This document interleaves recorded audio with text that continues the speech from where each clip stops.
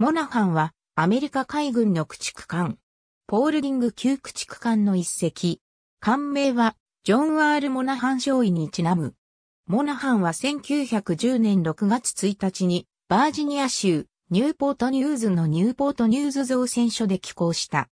1911年2月18日に FJ ガビン夫人によって命名、進水し、1911年6月21日に艦長 WP クロナン少佐の指揮下収益する。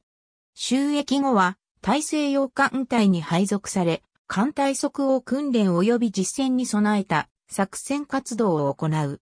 アメリカ合衆国が第一次世界大戦に参戦し、モナハンの最初の実戦活動は大西洋岸沿いの偵察であった。その後大西洋中央部の危険海域において船団護衛を行った。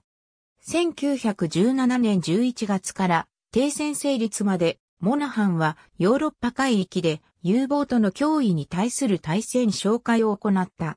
占領任務から帰還したモナハンは1919年11月4日にフィラデルフィアで退役した。モナハンは1924年6月7日に沿岸警備隊に移管され、ラムパトロールに参加した。